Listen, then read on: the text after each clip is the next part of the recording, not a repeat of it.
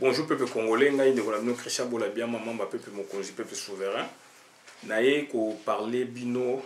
mingi mingi ba situation ba makambu oyo eza koleka mikolo donc situation actuelle.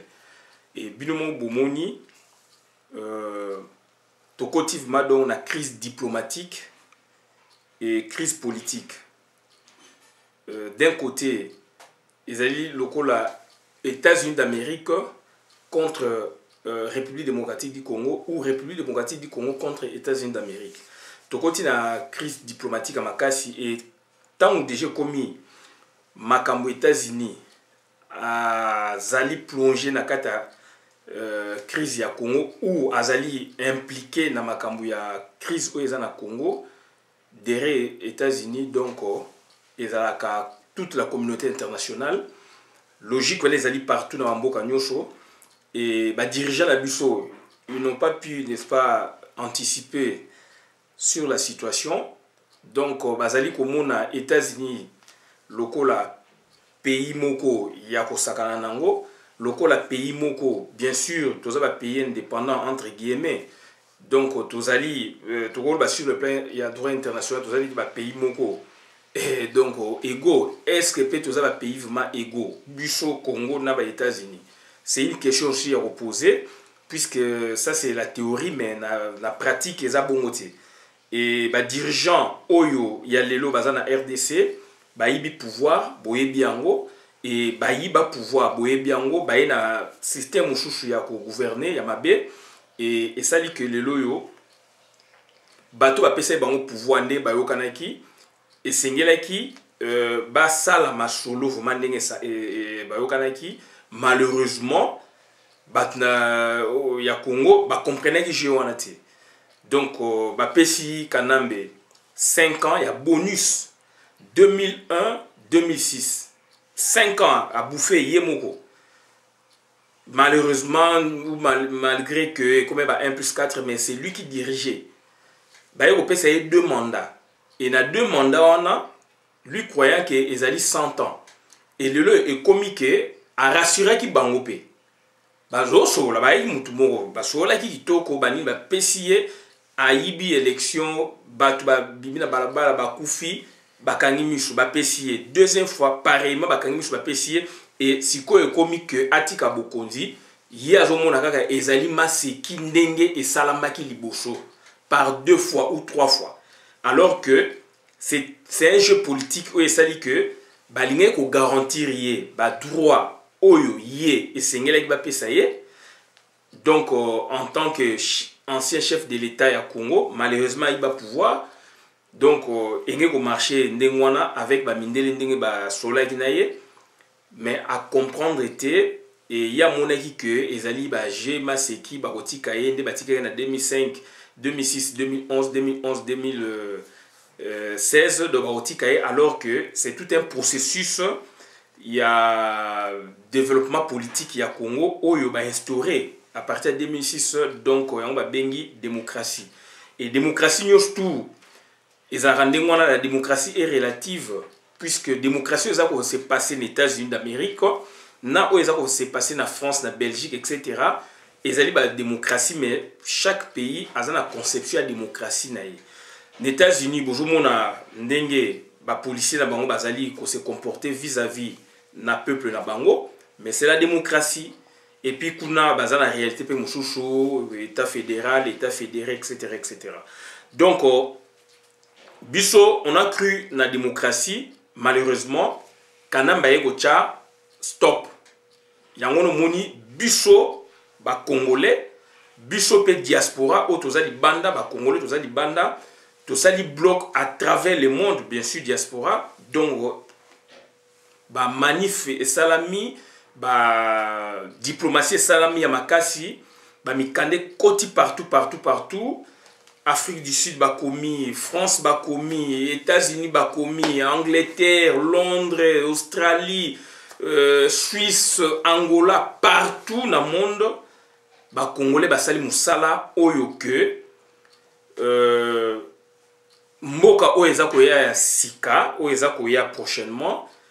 ekozala vraiment reconnaissant na bacongolais surtout ya diaspora oyo basali mosala makasi e grâce aussi na bacongolais dans son entièreté et surtout ya diaspora mosala emonani lelo tolingi toloba wana nini donc tolingi toloba ke lelo oyo tokomi na tokomi na obstacle obstacle ya kofranchir cap moko boye e cap wana soki tofranchir yango tobimi na bowumbu e pourquoi stop esalami parce que kanambe azali kosalela kongo te kanambe azali kosalela libanda e bino moko bomoni euh, ndenge a se comporter ndenge a gouverner durant 16 ans et ayeli biso culture oyo biso tozalaka nango te culture ya koboma biso lokola banzinzi culture ya bakuluna biso tozivaki yango te biso tozivaki euh, bazobenga babalado entre guillemets e babalado baservice ya mobutu bamaîtrisaka yango e delinquance juvénile emati to nango emati makasi alors que biso ntango tokolaki euh, protection ya jeunesse ezalaki tozali komona yango meme sur le terrain na bacamion babengaki kingabwa à partir ya 18 heures donc bacamion ezalaki kobima na babalabala mwana nyonso tu mineur kotya ye na motuka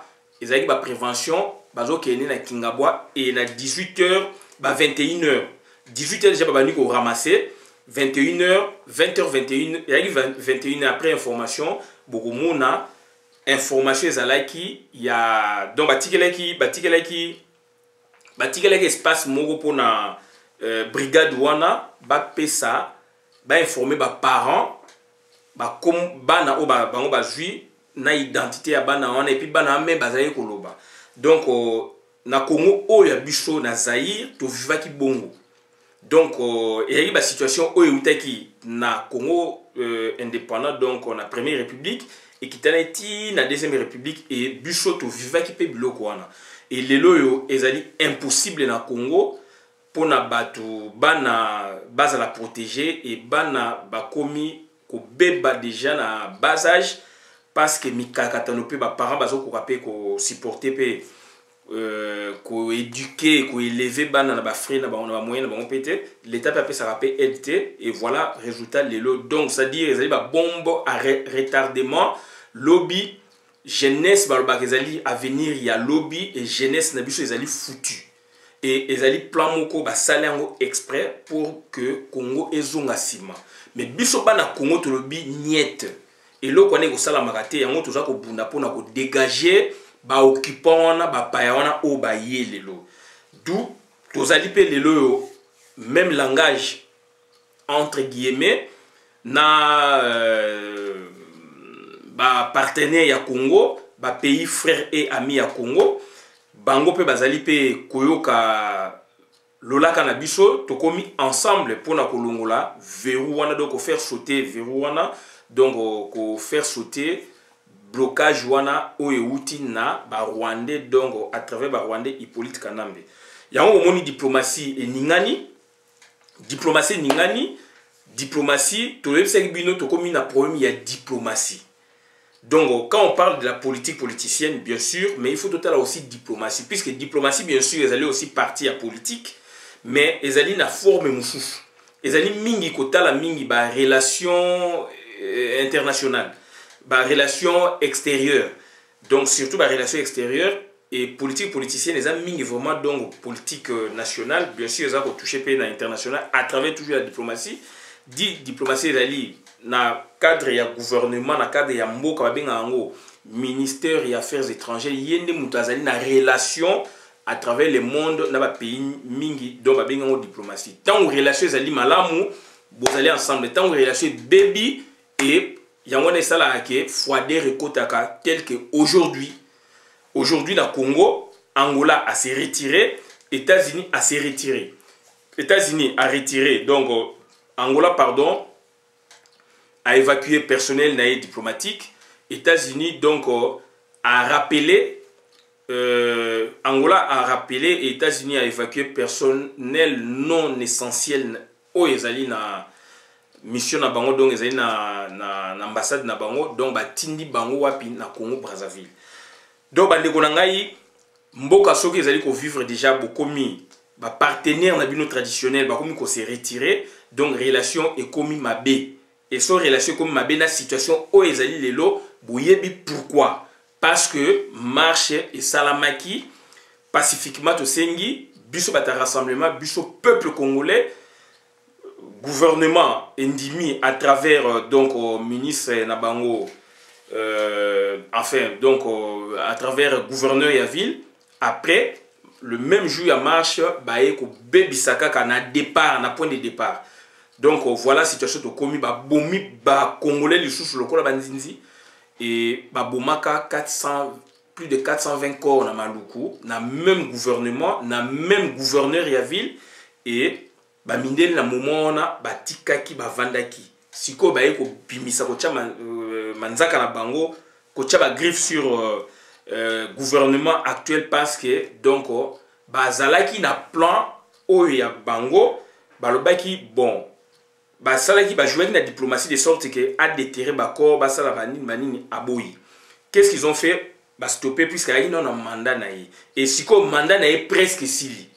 oyo ekomi nango temps moko donc oyo tobengi préavis donc mandat na ye presque esili yango nomoni mindele sikoyo baagir donc baagir par rapport ya basituation antérieure aussi ba agir par rapport à ba situation antérieure aussi et boyeba na mindele euh, ba parti politique eza ba symbole ya fonctionnement ya politique ya mboka et akeyi ti kobonza nde bandeko na biso ya congo braza balobaka kobonza bapermanence donc koboma bapermanence ya baparti ya minene ya mboka na biso tel que udps udps ezali fille aine ya opposition Voilà, donc la période ya Mobutu, UDPS, biso tozalaki kuna tomona te baya kotumba permanence bamanœuvre ya mike mike ezalaki me kotumba nde batumi na bato na kati totikala komona yango te donc euh, mais toyebi ke na periode ya mobutu euh, journal elima, elima baplastikaka yango donc na baservice euh, ya sécurité na ntango wana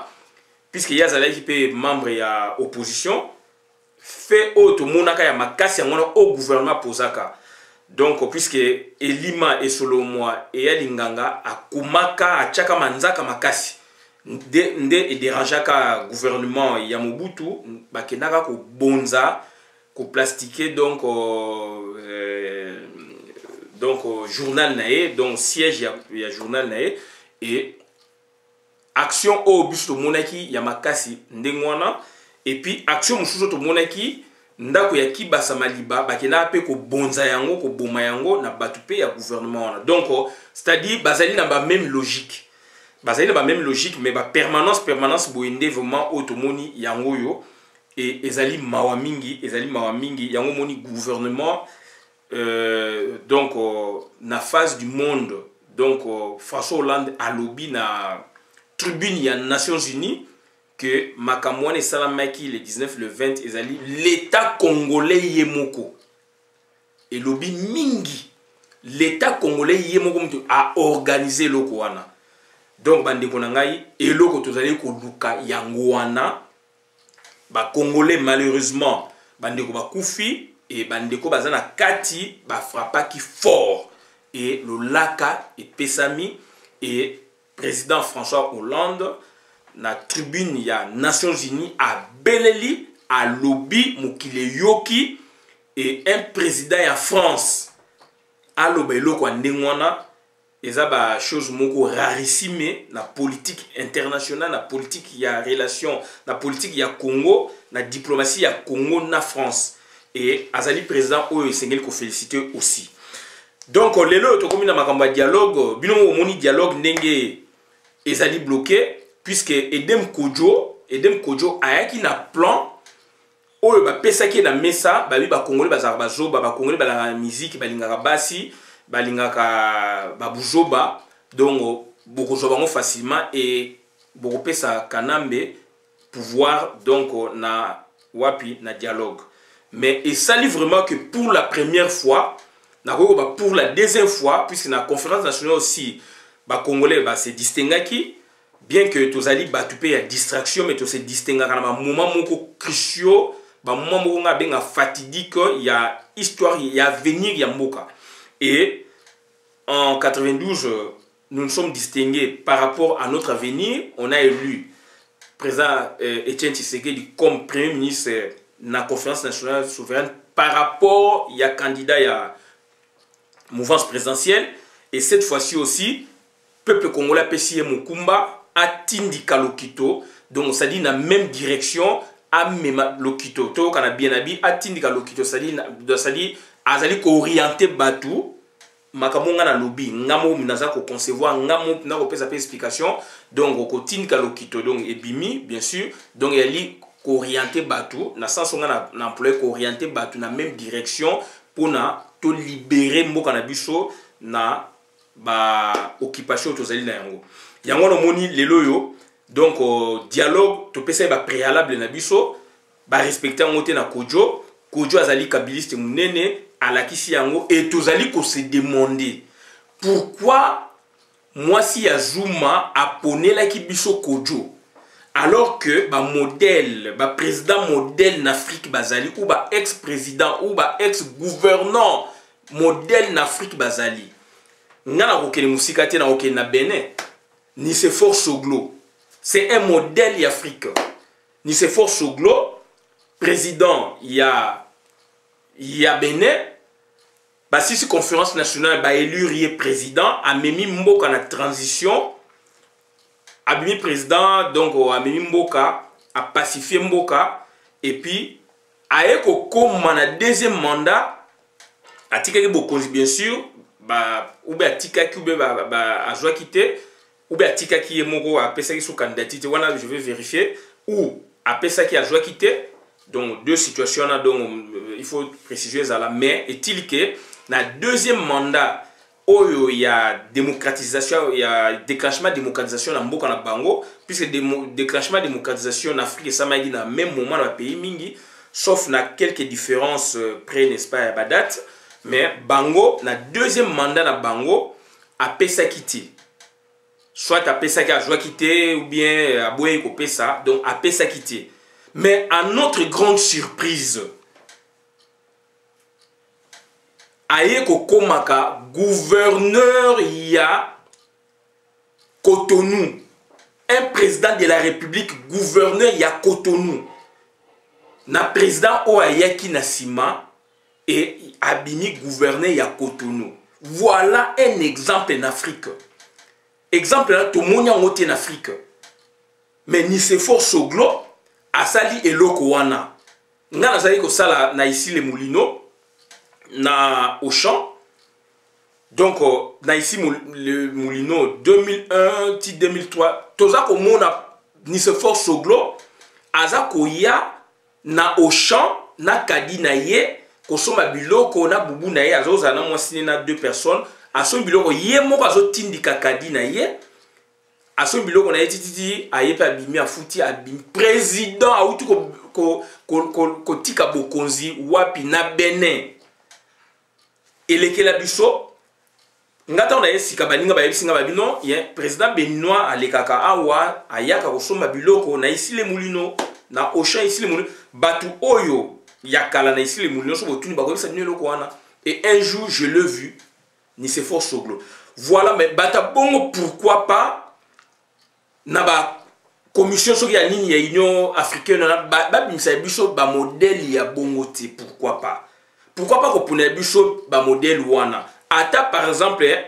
akendaki vers bango te. Akendaki vers bango ko solliciter te ou bien il faut s'inscrire par exemple. Mais pour l'intérêt supérieur ya Afrique pour l'intérêt supérieur ya Afrique pona ba conflits, ba résolution ba conflits na ba mboka ebele. Pourquoi ne pas nous envoyer bato lokola ba Nicéphore Soglo alors que Bénin ezali un de rares pays d'Afrique oyo bazali modèle na démocratie. Depuis euh, 2000 euh, depuis 90 ti lelo 26 ans ya démocratie et mboka eza kotourne eza kofonctionne normalement bien sûr nasalaka mpe na babéninois todiscutaki encore hier babi mais peut-être vous dites ça oui mais peut-être puisque nous on n'a pas de richesse na bikoma le bénin n'a pas de richesse j'aurais appris que vous avez du pétrole babi oui toza na pétrole on a du pétrole avec euh, euh, le, le Nigeria, sauf que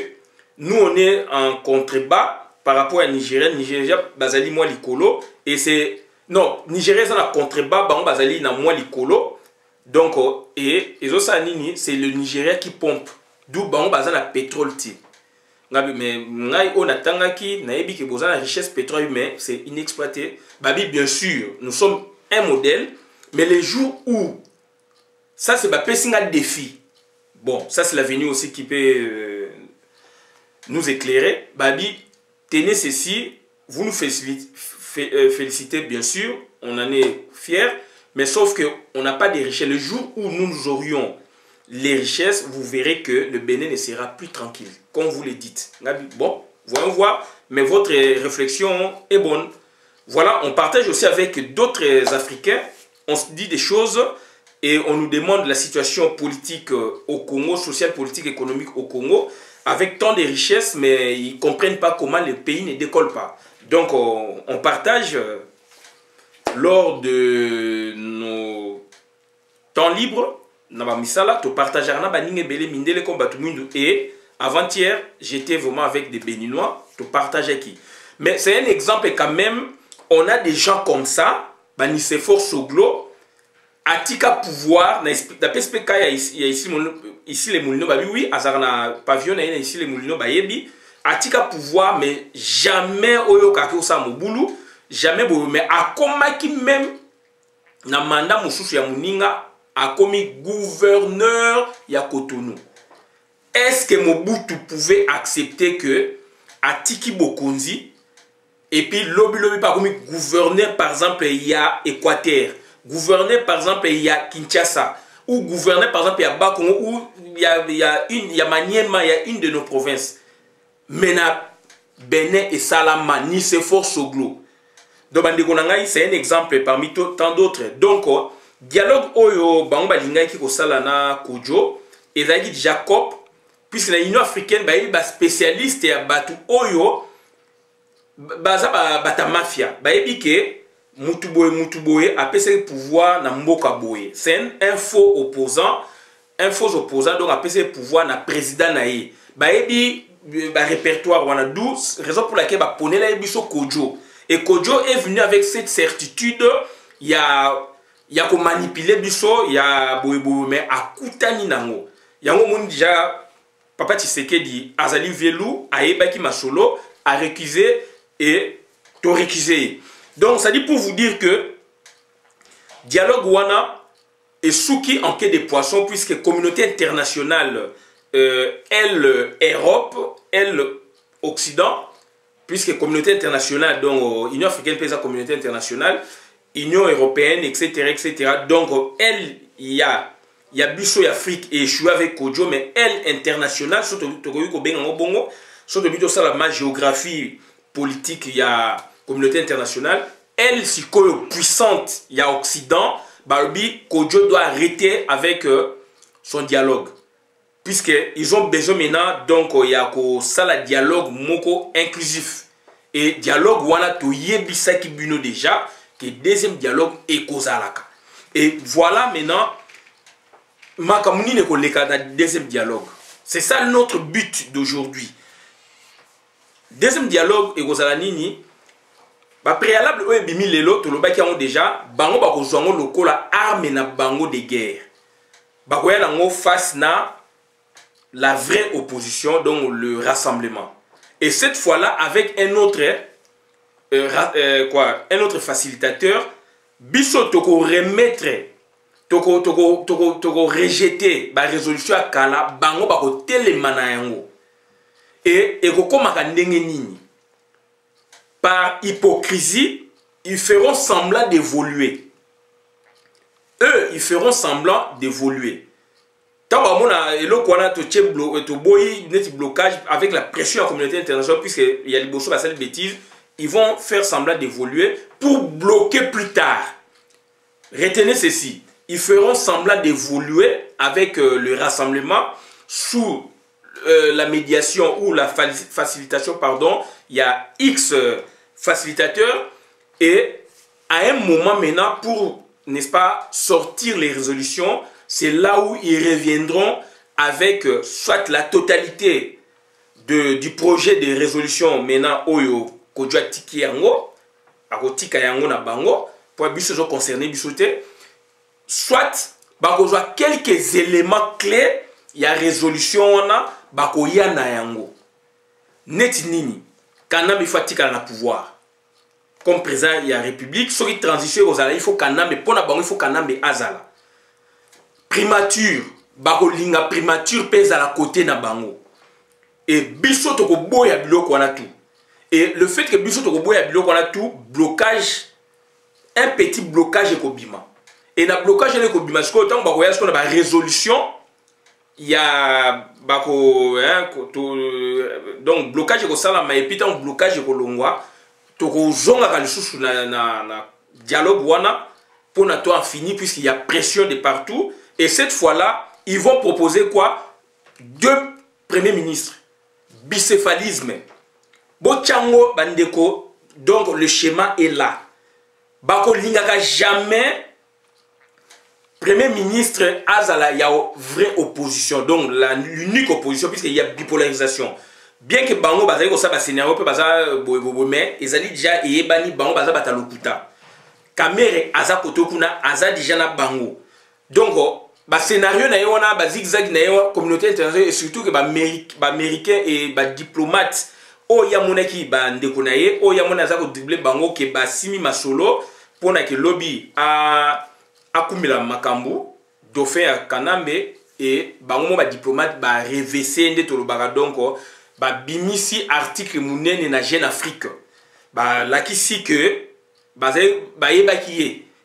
et puis donc euh, bayebaki ye c'est un petit malin bazoseka na bango donc bango sikoyo bakoya bakanambe à travers kanambe donc euh, ye euh, kamere na groupe na bango puisque c'est kamere qui dirige et na moment wana ekozala sikoyo to ba vrai dialogue ekobima retenez ceci kengo adondo akoya un élément dangereux ruberwa bisengimana euh, oyo nani oyo bizi makara euh, ba, uh, deogra soki ruguiza donc barwandais wana donc tuti power tout bakoya na vrai dialogue face maintenant à la vraie opposition. Et c'est là où il y aura des enjeux pour l'avenir du Congo, de notre pays. Et cette fois-là maintenant, puisque c'est lui qui a piloté, lit eterne ekozala kengo adondo akolinga akuafe akorécupere eloko wana par moment bon wana ezali cuisine na bango interne bakoyokana ou bien ya euh, neti azwaki déjà mwa avance ou akosede na vie na ye créateur na ye ou bien ye mo moto akokumela masolo ça c'est leur problème mais retenez ceci ntango ekoma sikoyo ke il faut soit transition bango bakolinga kanambe bamaintenir ye ça c'est le 1 deuxièmement bakolinga bazwa primature aussi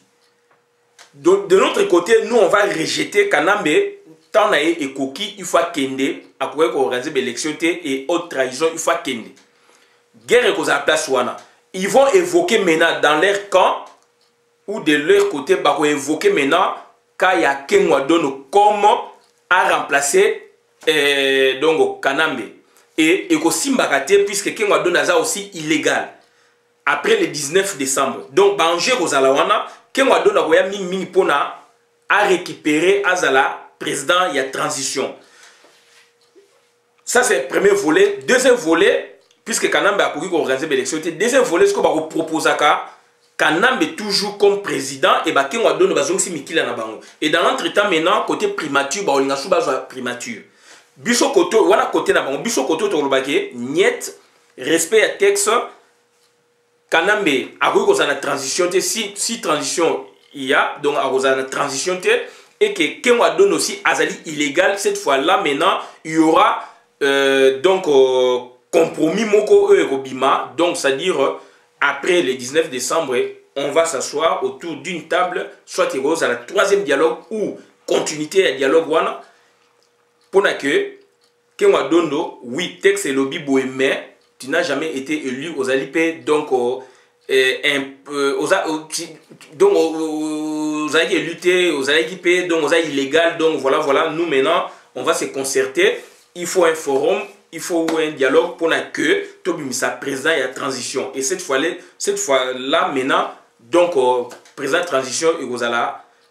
eh, propose na rassemblement tshisekedi oyo oh, bango mpele mosusu bakolinga bacomplike mais notre position nde yango wana donc wana eyali deja bamakambo oyo ekoyaka kosalamaka mais dans l'entre temps kamere abundeli ye moko te abundeli toute une communauté abundeli l'occupation rwandaise au congo puisque soki asali bongo te donc mutu moko akodefendre bango azali te asali bongo grâce à quoi grâce ya misolo na pouvoir oyo bango baza nango bayiba kanambe aza kodraine bato wana kojo azali asali masolo na mwasi ya zuma puiske zuma baza na baintere mingi na congo batindeli biso euh, mutu lokola kojo mpona aya ayiba pouvoir apesa nani esimbi te et cette fois-ci sikoyo bamiso ya bato nyonso tu efungwami na oyo balalaki pongi balamuki sikoyo bayo comprendre ke non non non donc situation ezali claire ezali boye et voilà maintenant place tokozala na bango problème yango wana place tozala bango problème yango wana ebango sikoyo bakotelema sikoyo na deux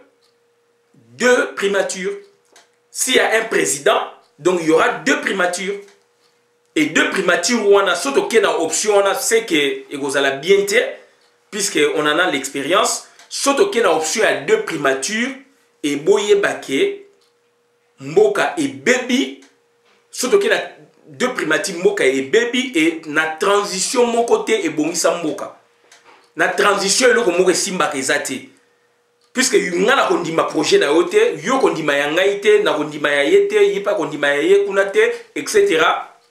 ekomaka nini uniquement partage ya pouvoir de pillage ya portefeuille de l'état pillage ya état et tomoni yango na 1 plus 4 Qu'est-ce qu'il faisait là-bas Rien. Donc pillage et ils vont se bouffer. Le plus fort à rebouffer boye boye boye. Donc ça dit euh, euh, va pillage il y a ba richesse naturelle na artificielle ya mboka.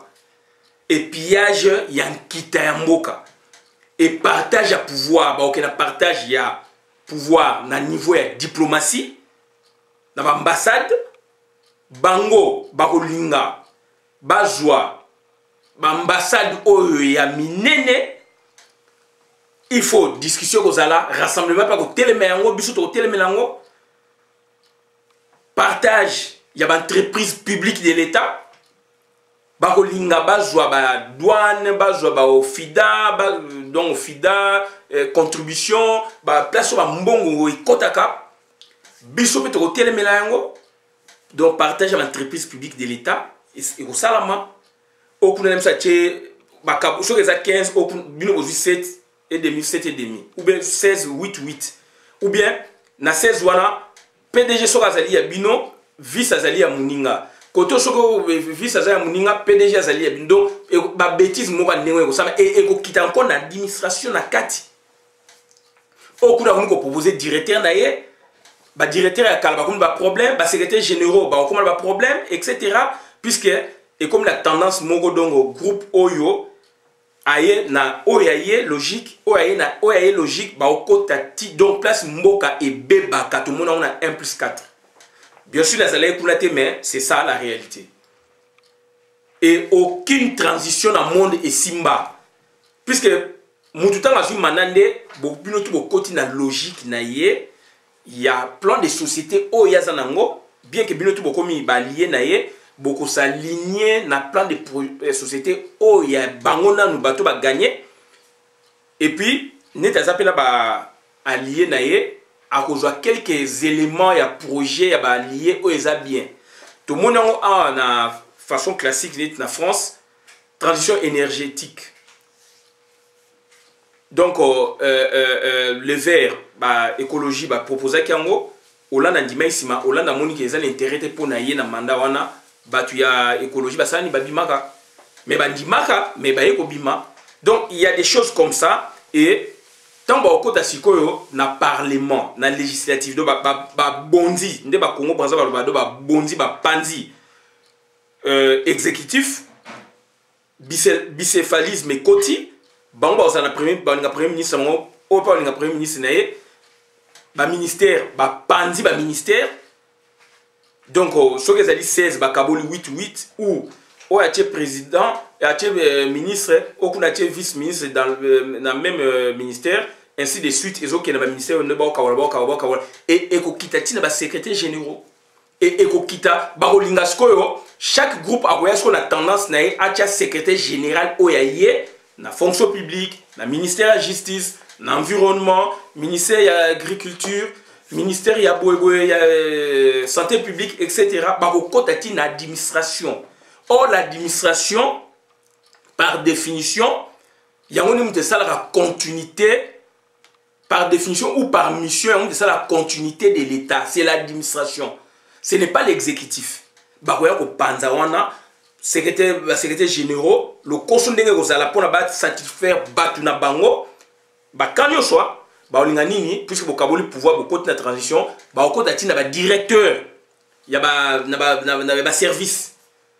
et bakendaka encore plus loin ntina bachef division ya badivision ou badivisionnaire bandeko na ngai ta nde bakobebisa administration ta nde bakobebisa misala na likolo kuna na exécutif deja bapanzi bakokita ntina se puisque secrétaire général aza na tendance na bango te eh, bango mpe batiaki ye te ou bawumelaki mingi eh, boye boye fo balongola ye voilà e toke sikoyo na parlement na législatif e na législatif ezalaka nini ekóma sikoyo sangisa sangisa bino boye na oyo ya bino biso mpe toye na oyo ya biso soki babi par exemple eh, parlement ekozala mosusu 800 personnes groupe oyo ekobimisa 400 400 na par exemple na groupe x bayokani mpe bango mpe na kati kuna mpe eza mpe na bakota na bango babimisi 400 kote oyo mpe bakota na bango babimisi 400 boye kosangisa ekomi 800 président ya assemblée nationale peut-être baolinga mpe bacreye bicéphalisme ou bakoki korespecte je ne sais pas soit bakoki kocreye deux présidents bicéphalisme puisque moko te akoyoka moninga ou bakobimisa président moko consensuel ya parlement ya enfin ya assemblée nationale tozwa nano ya assemblée nationale donc na assemblée nationale biso babi 800 donc 400 400 babimi bakoluka soit ezala deux président ya, parle, ya, ya assemblée nationale puisque toza na bika, système bicaméralisme donc bicaméral soit baolinga bazala na deux de euh, président ya assemblée nationale ou babimisa moko aza consensuel et na antagonisme oyo ekoti lelo na congo eza difficile sikoyo bavice na bango soki moko abimi consensuel vice sikoyo ekóma de part et d'autre kote abimisi vice kote abimisi vice kote abimisi premier secrétaire rapporté kote abimisi premier secrétaire rapporté ainsi de suite bandeko na nga c'est pas la magie yango qui nous essayons de revisiter nos institutions politiques du congo de 1960 à nos jours ou voire même de l'état indépendant du congo à 1960 et surtout vraiment juridiquement donc des 60 jusqu'à aujourd'hui. Et surtout la période transitoire, on a vécu ça. ACR au départ c'était à tendance de l'opposition radicale animée par Tshisekedi, Premier ministre. Et Kotokuna, Bazalaki Libanda, Papa Anzuluni Mbembe, Bazalaki l'Assemblée nationale, Assemblée nationale est euh, dissoute, puisque c'est un système monocaméral. Et, et comme un sikoyo, avec l'évolution politique, ba contexte mpe echangeaki ba données echangeaki ekomaki sikoyo ke il faut komélange yango ekomaki eyaki acr eyokoma sikoyo pt acr pt parlement de transition donc baye kozwa nini ex ensemble nationale baréactive yango mpo bango mpe baza kocontinue kosala baséance ba na bango toujours na, na palais de la nation place place lelo ekoma présidence de la république vrai palais ya nation yango wana donc vrai parlement na biso donc bango bazali mpe kocontinue kuna ntango sikoyo bamanœuvre puisque président mobutu ayaki na pouvoir bien que ayaki conteste il a pesé apesé avec le temps avec usure ayaki kosala nini eyokoma sikoyo badonne ekochange il faut kosangisa e monseigneur mosengo actuel cardinal azalaki président ya acr avec son vice-président papa ileo songo amba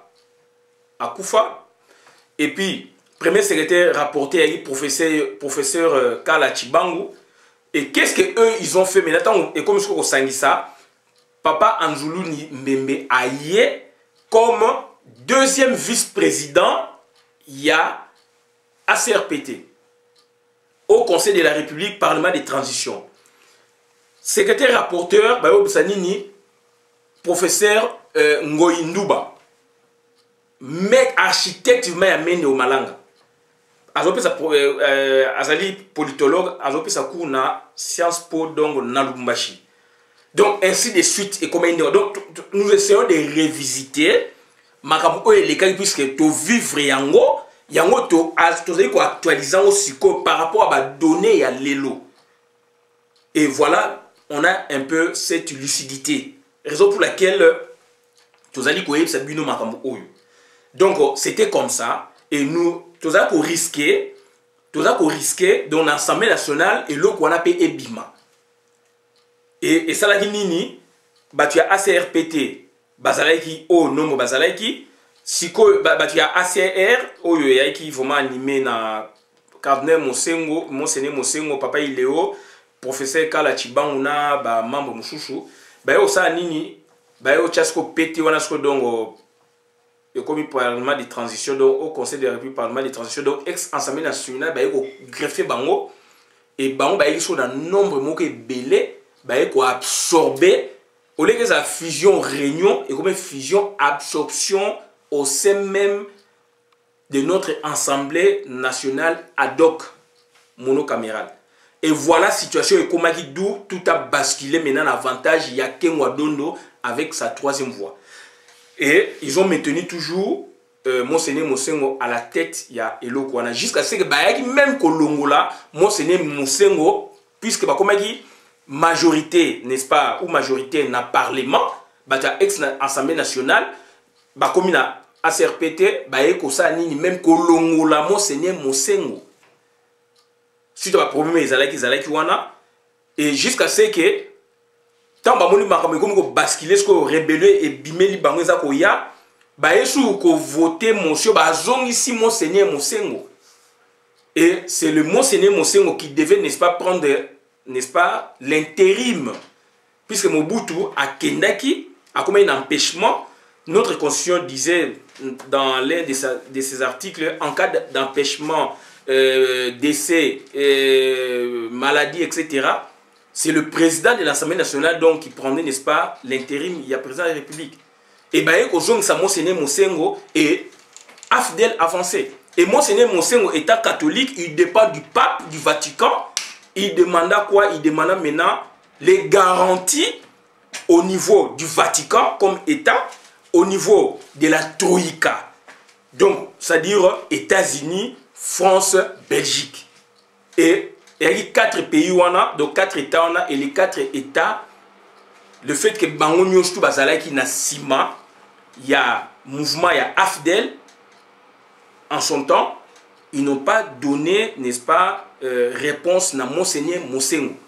ça c'est l'histoire du congo et esali que mosele mosengo azosenga ba rfi ezoloba azosenga ba garantie puisque c'est lui qui devait prendre la transition en tant que tel par rapport il y a prescrit constitutionnel il y a biso na moment wana acte constitutionnel de la transition ya du 9 avril 94 elobaki bongo asengi ba garantie puisque azali prélat azo dépendre na pape donc na vatican asengi bapréalable donc garantie mpona aassume fonction wana puisque bavote bazongisi ye mobutu aza kotambola donc garantie ya vatican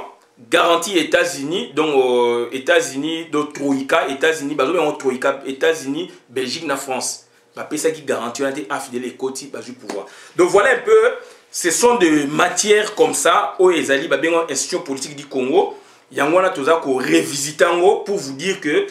nous, risque, nous risquerions n'est-ce pas d'avoir le même scénario mais actualisé cette fois-ci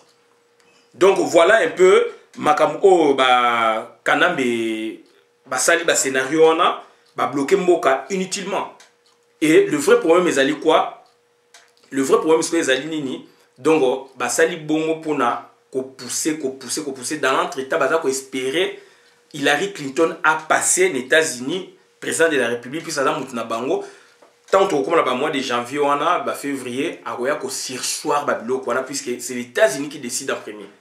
e yango omoni pression ezali makasi pression ezali makasi pression ezali makasi e kamere ruse na ye na conquête na ye ya pouvoir emonani polele mais en face de lui donc azali na baprofessionnel ba, ba, ba, ba baprofessionnel ya, ya, ya, ya, ya pouvoir neti bapapa ba etienne tshisekedi donc babare route na babiloko wana moyen makambo wana esalama ezali te donc bandeko na ngai bakosengaka bino lisusu na kati ya gouvernement bafonction régalienne ya l'état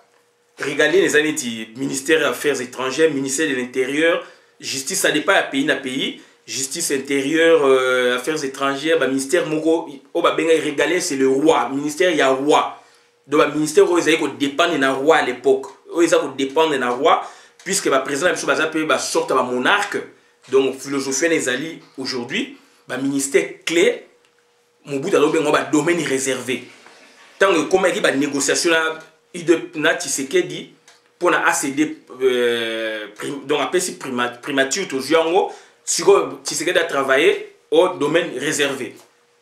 donc ba domaine regal donc ba, ba fonction régalienne ya l'etat ou ba domaine moko oyo eyaka erevenaka ezali ko revenir kala na roi lelo ekoma ba président ya république nde ekokoma susu wana mobutu alingi bapesa ye justice bapesa ye euh, défense bapesa ye intérêt etc Tshisekedi alobi bon zwa nyoso me pesa nga justice. Mobutu panique. Oh non, natiki yo euh, justice zwa économie finance ya bi non, bozwa nyoso nga naza besoin ka intérêt na justice. Donc voilà un peu ba scénario wana ekoki kozonga et donc euh, makambo tokongo toyebisa bino lelo yango wana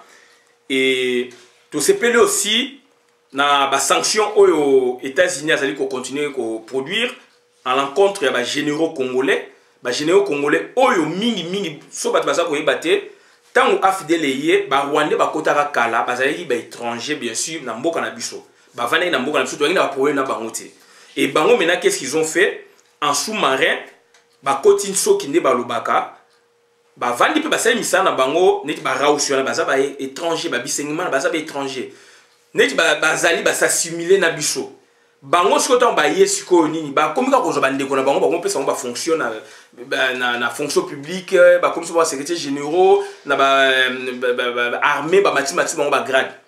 ce qui est un peu logique na logique oyo ya bango donc bamatisi bato oyo bazalaki na biso comme bakongo bazalaki barwandais baétranger baburundais mais basasimilaki na biso neti baruberwa donc bapesi bango bapouvoir ba, ba, ba, ba, surtout kamere hein, ba bisengimana wana bapesi bango bapouvoir yango omoni bato wana baza koboma biso na baopération oyo moto lokola tango fort tango fort azali moto oyo azali chef des opérations boyebi bien ntango afdl eh, m23 eza kotomboka moto atekaka minduki na biso na afdl eza nani si tango fort basispandaka ye ekabila ye kogracie ye ntango bagracie ye aye kopesa ye mission spéciale stratégique ya ville ya kinshasa yango wana azalaka nango ti lelo bomona wapi président aza mpe président ya football président ya jeunesse ya sport ya équipe monene lokola vita club e aza kotinda baboma bato bomona yango na mboka nini donc euh, bandeko na ngai makambo nazalaki nango akoloba lelo yango wana nasuki awa toza kosenga kaka bolingo ezala tozala ayangele tokoti na bamoma moko ngai nabengi yango eza bamoma moko ya ezosenga sikoyo batechnicien ou ezosenga technicité ezosenga bamayele moko boye intelligence moko boye mpo na kodécouvrir baintelligence caché quelque part na kote ya barwandais wana e kamere azali kosala projet ou plan oyo ezali dicte na kagame plan oyo ezali dicte na kanambe plan wana ezali traité élaboré euh, donc na balaboratoire politique ya monde ils ont beaucoup misé sur ça et badonne wana bakalika yango na congo puisque baspécialiste oyo bakitaka na terrain ba étudier bino politique na bino et maintenant il commence à vous donner des leçons faites ceci faites cela et ba laboratoire yango banini ba spécialiste ya ba science ba euh, donc ba constitutionnaliste ya monde hein, ba, ba, ba anthropologue ba sociologue ba philosophe oyo ba étudier bino baye basali terrain même durant une année baza payé par la présidence et bazopesa bino badonné batamboli na baprovince nyonso avec l'argent de l'état ba travailler siko bayi bosala eloko boye bosala eloko boye bosala eloko boye yango omoni biloko wana nde eza kosalama bongo puisque projet na bango ezalaki soki bareussir barésolution wana barésolution wana nde lobi yango wana ekokomaka na compromis global nde yango wana baconvertisa yango ekomaka sikoyo loi puisque baza koagir en amo biso benga yango na anthropologie du droit dongo construction normative ou la production du droit construction ebandaka en amont production du droit ezalaka en aval donc babandi deja koconstruire donc barésolution wana oyo kojo ayaki nango wana tozomona yango pamba mais soki tosalaki erreur tokangami donc babengi yango construction normative cour wana moto apesa yango professeur kami kuyu dongo kami kuyu na paris un patriote sorbonne anthropologie du droit deza cour mo munene dongo construction normative ou la production du droit nous, on, nous les anthropologues du droit on voit les choses en amont ntango makambo eza kobanda c'est là où il faut kobloquer c'est là où il faut koagir ezali na parlement ntango balwa eza koya baprojet ya balwa eza koya bamultinationale puisque mboka na biso eza nano ebandi déjà ça commence à bouger bamultinationale bayaka kotraite na baparti politique puisqu'ils ont un projet par rapport à ça peut-être projet wana mpe ezali ya bino na bango ou mpe bango bapropose bino e bakoya na baprojet ndenge wana mpona eleka na parlement soki eleki eza na avantage na bango na poto biloko wana eza mingi yango omoni sikoyo biloko wana ezalaka badebe esalamaka na baparlement donc babenga yango nini donc construction normative construction normative donc cestadire il y a le il y a du donné donc il y a le donné et le construit les données s'il y a rien vous faites allusion na baloi coloniale hein, na barésolution oyo ebimaka na période coloniale S'il n'y a rien, il faut euh, se ressourcer. S'il n'y en a pas, vous construisez. Et voilà maintenant, donc on est là dans la construction, construction normative. Et par rapport à la donnée, la loi euh, coloniale sous la colonisation ou baloi au peu bino bosali précédemment ça devient aussi du donné donc net boyango ou bien il y en a pas donc vous puisque bolingi su shemana te bokomi koconstruire et c'est là où il y a le travail yango wana il faut kofungolaka misu nde na moment wana et quand maintenant bosala eloko moko te eye sikoyo efandi c'est fini c'est une loi il faut adopter et il faut l'appliquer donc euh, bandeko na nga tosuki wana tolobi na bato nyonso ingeta ingeta victoire eza kote na biso Ekotikala ya biso, tozali bana ya Congo, bana ya somi et tozali na cadre ya crise diplomatique, crise politique. Donc Etats-Unis d'Amérique contre Congo Kinshasa. Donc euh, yango tolobi ou Congo Kinshasa, c'est-à-dire États-Unis d'Amérique contre Kabila puisqu'il doit partir. Tolobi merci bola la vidéo malam boka bola yango.